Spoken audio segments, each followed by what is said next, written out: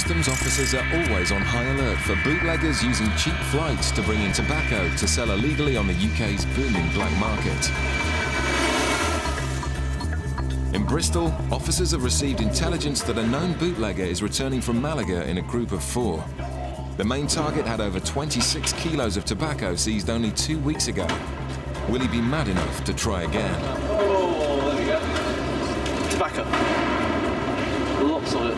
The X-ray has found four bags full of tobacco. Now it's up to Anne and the team to stop and question the passengers and prove that the tobacco is not for their own personal use. Bootleggers come in all shapes and sizes. This time it's a retired couple who pick up three of the four suspect bags and then split from the group.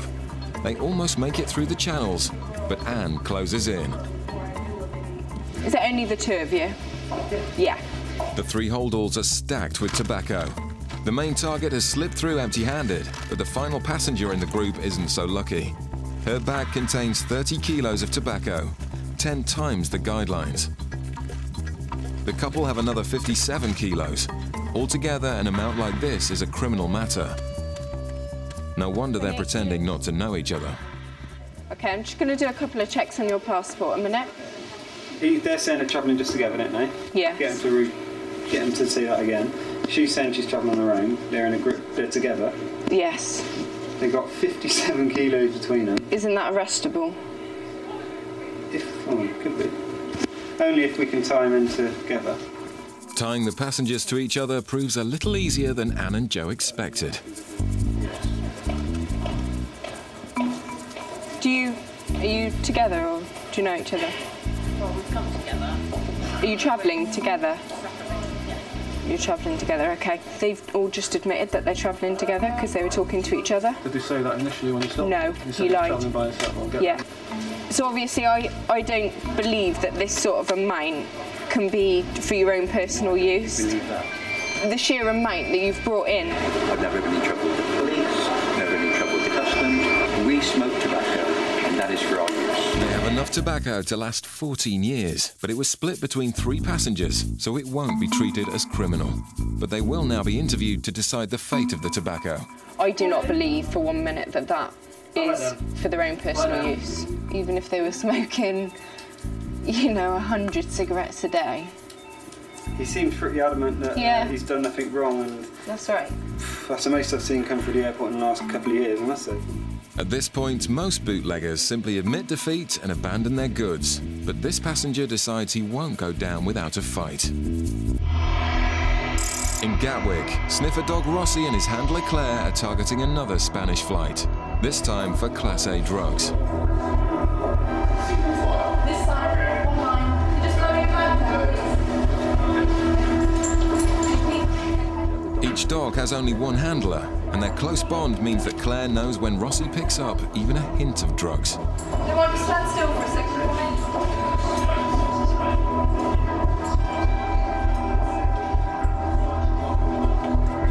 Okay, let's let's carry on. Carry on walking, please. The passenger is intercepted and seems very nervous. But Andy's bag search finds nothing. What's that? Just a charm. Not convinced, Andy swabs the bag for drugs and picks up a massive hit for cocaine. Quick chat with him. He's he's very very nervous. And uh, taking an ion track off there, got a hit of four. So I'm going to get a, an SOP in him, but uh, I wouldn't be surprised if he's got something on him. Okay, All right. all right. Okay. It seems Rossi and Claire were right. So Andy confronts the passenger with the evidence. It's a drugs dog. Uh, I've spoken to you. You, you seem very nervous, okay? Uh, I've taken a swab, as I explained to you, from your baggage, and I've got a very high hit for traces of cocaine. So what I want to do is search you to make sure you have nothing on you. No problem. Okay, No you problem, understand sir. that? Yes, yes, no okay. problem. Do you have any objections to that? Pardon, you have sir? any objection? Any problem with that? No, no, no. You okay, go check. good. You have any, everything you want? Okay. This. The passenger is playing innocent, but the search of person will prove if he's telling the truth.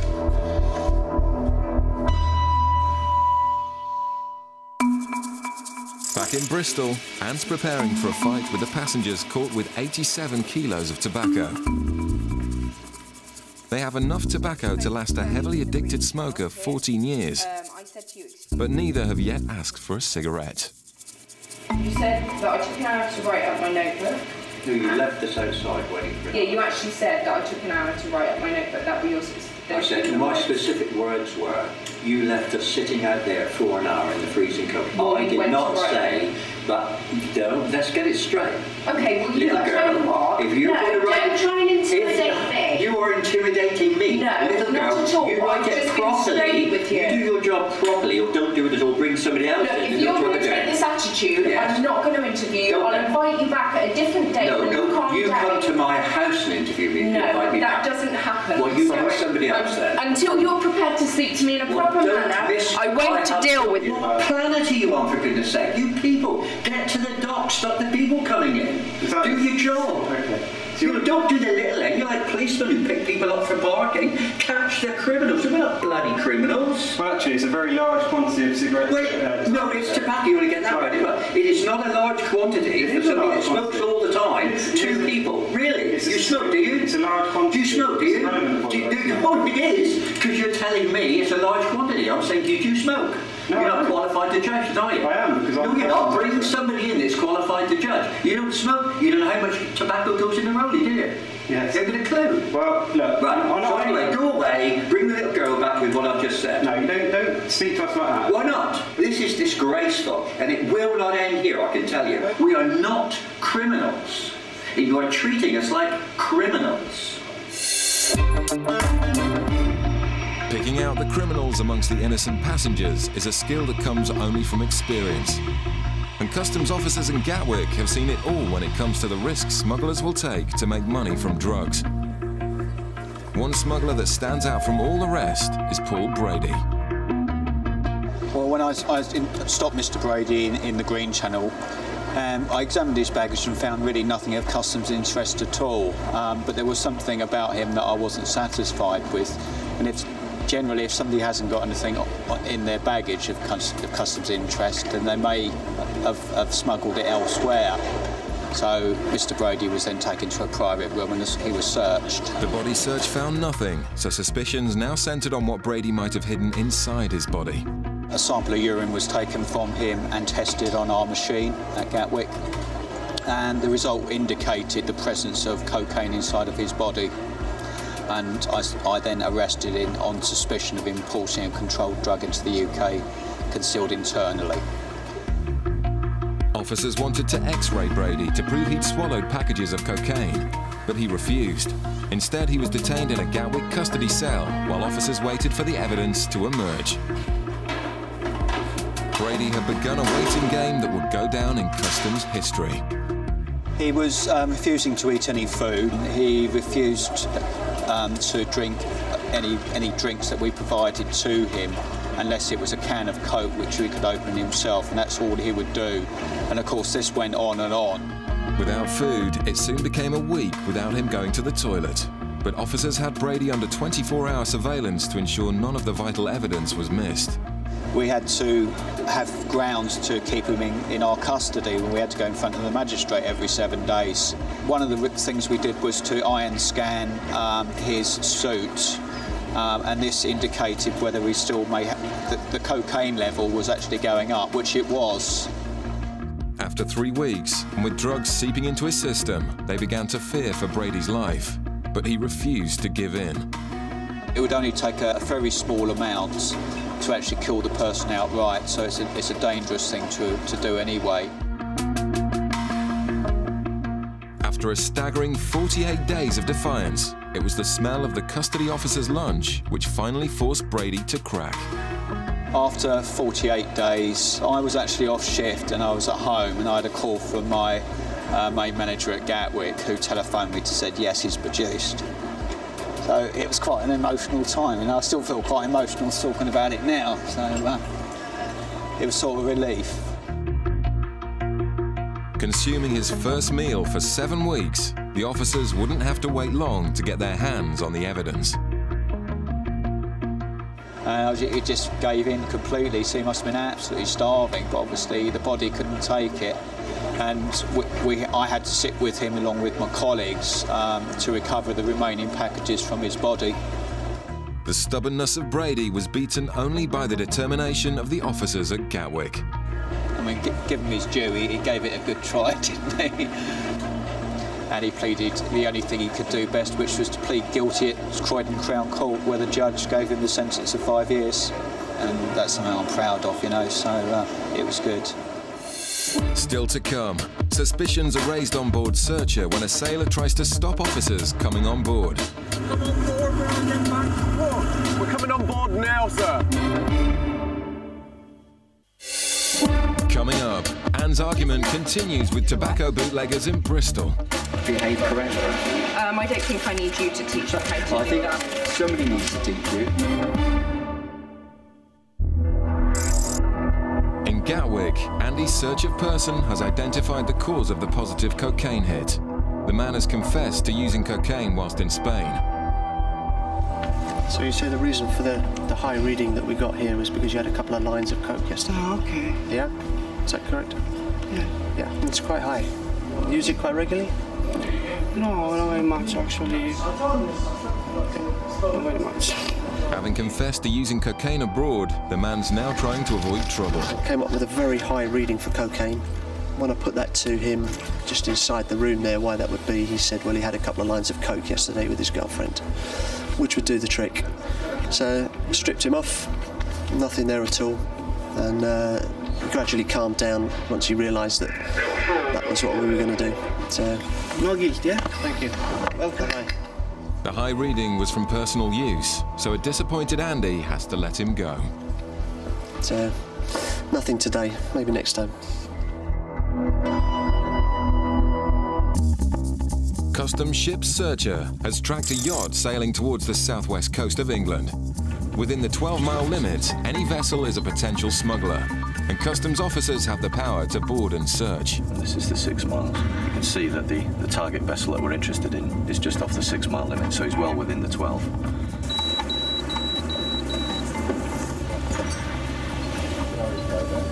What's using the code? The cutter launches the high-speed rib team from the stern, giving the yacht no time to hide any goods on board or jettison any drugs into the sea. The boarding team don't need the skipper's permission, but he seems unaware of their powers. Customs, sir. We're just going to pop on board for a second. Come on board when I get back to port. When we get back to port, we've actually got to come on board now, sir. Pardon? We're coming on board now, sir. Ah. How long have you been over in the Scillies? Uh, two days. Two days. Can hear the rib crew saying there they're going to take some uh, swabs on board the vessel, some ion track swabs, and then they're going to bring them back to the cutter, and we can test to see if there's any uh, traces of narcotics or explosives on the yacht. To avoid upsetting innocent sailors as much as possible, the drug swabs quickly identify any wrongdoing. The man's initial attitude may be a good sign of a smuggler, but the swabs will be the ultimate test. If he's got anything on his hands, that will have moved onto the tiller. Nothing there. Swabs are negative, and there's uh, no trace of any drugs on that particular boat. All negative. Nice, uh, clean yacht. Fair dues. Back to the boys back in then. Quickly exonerating the innocent is as important as arresting the guilty, and this sailor is free to continue his journey.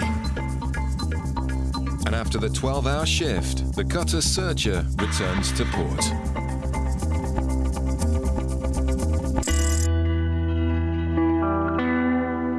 Meanwhile, in Gatwick, police have arrested a man as he stepped off a flight from the Caribbean.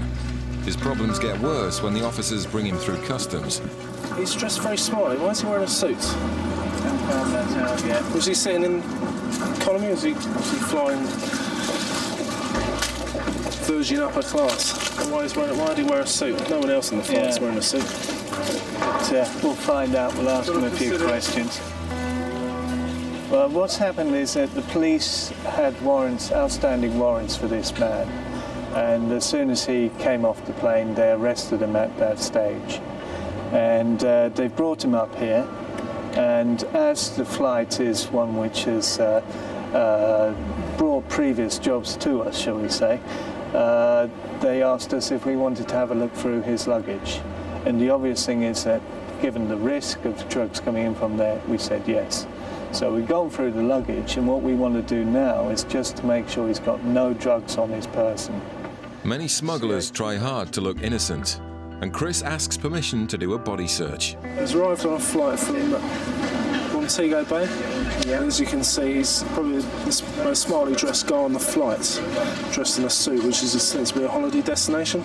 It seems as though he's got various layers on as well. Yeah. So I just want to rub him down, make sure there's nothing under all those layers. That's fine, Chris. Yeah, 8.15. Thank you. Cheers. Okay, if you're Do you come this come way. with us as well? Stay with him. Right, if you can follow us. Okay. Catching drug smugglers is a daily occurrence at Gatwick, and officers find packages in a variety of places. The strip search is as uninvasive as possible, but it's an uncomfortable experience, especially when Jeff discovers the initial reason for the man's arrest. Uh, he's actually wanted for a driving offence. but, you know, we have to make sure 100% certain. So we, we did a quick search and nothing was found, so uh, we've handed him back to the police. He's been uh, rearrested and uh, taken back down to the uh, station. This man isn't a smuggler and leaves cooperatively with the police. Meanwhile, in Bristol, three passengers have been caught with 87 kilos of tobacco, but they're not going quietly. You have treated us really badly, really, really badly, like we've done something wrong. Until you're prepared to speak to me in a proper don't manner, I won't I- deal with you. It's the biggest haul the team have seen in years, but the man is adamant it's not being brought in to sell on the black market. Anne's decided to interview the man to see if he's telling the truth. If not, the £11,000 worth of tobacco will all be seized and destroyed. How much do you smoke a week on average? So, day, so. Uh, Two or three 50 gram packs. yeah, generally two. Okay. How many cigarettes do you tend to make from one 50 gram pouch of tobacco? What could you get to? Well, 30. Okay. At one 50 gram pouch, on a good day, he gets 20 out of it. Okay, sorry. Um, he would expect those goods to last him nine to 10 months. All right, give him the benefit of the doubt. 30, 30 kilos are for him. Yeah. That's 600 pouches. And he reckons 10 months. Yeah. Definitely not longer than a year. Because he bought the same amount last year. And That means he's going to be smoking eight and a half pouches a week. Totally and utterly He's, ridiculous. oh, he says he smokes two pouches a day, two to three pouches a day. A day? The only thing I haven't asked uh, is about rolling, Mm-hmm. because are we allowed to ask that? Hmm. Are we? you mean? Going to roll what? Yeah. Yeah. I'm going to ask you to roll one of these for me. Really? I'm Yeah. not playing any silly games. Well, you've I- you've said that you can roll. Listen, look, I've been very good. I've played the game. Yeah, You've but asked I'm not asking. questions. You've asked, and if you really think at 65 years old I've smoked all my life, I'm now going to play a silly game. I'm asking you to roll one cigarette. No way. I'm not being silly. No way. That's insulting. The two other passengers have had their goods seized. And now the moment of truth. Anne has to decide if the angry passenger gets to keep his tobacco. And he's not going to be happy. I've looked over what has been said today, and um, you failed to satisfy me that the tobacco is for your own use for the following reasons. I'll give you the reasons. One, uh, the excessive quantity is actually nine times over the guideline of what you are supposed to bring in from an. Not, but what, not what I'm supposed to smoke, yeah, fine. When you say guideline, Yeah, there is a guideline Yeah, of three thousand. It's a guideline. Yeah, but it's still nine. I'm giving you my. I'm not going to argue about it. I'm Okay, giving you my get on with it reasons. Um, consumption, three pouches a day is grossly Oh, excessive. Right, yeah, okay, go on.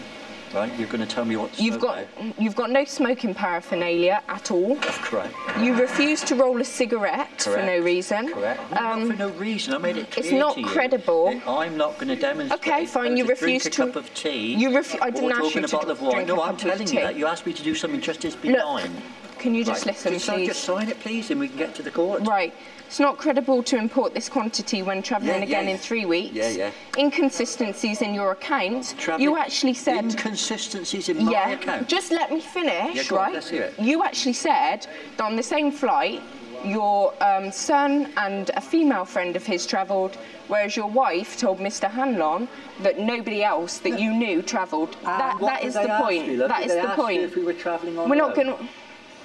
When you were being questioned, did they ask you if you're travelling on our own? Yeah. Well, we are. Well, you're not because you know that. You, Well, no, I'm. so, I so knew are you another lady I suggesting was sitting beside. that um, Mrs. Stevens didn't know that her own son was no, also no, what on the I'm saying flight? to you is, we are travelling on our own. That's what my wife said. Anyway, get to it. It's come on. also not credible to get only 20, or 30, or even 40 cigarettes from a 50 gram pouch of tobacco. Right then. Generally, you would get at least 80 to 100 cigarettes out of. Not if you roll them in a bag. What? So, box. are you suggesting Yeah. that you roll I'm them? not suggesting anything. Let's Right. go to court and have my solicitor Okay, if you, you. if you could sign. Look, you And need to sign the date as well. Sign the date. You put the date. You don't. Look, I'm not going to argue with you about put, sign. I'm just trying to get you to behave correctly.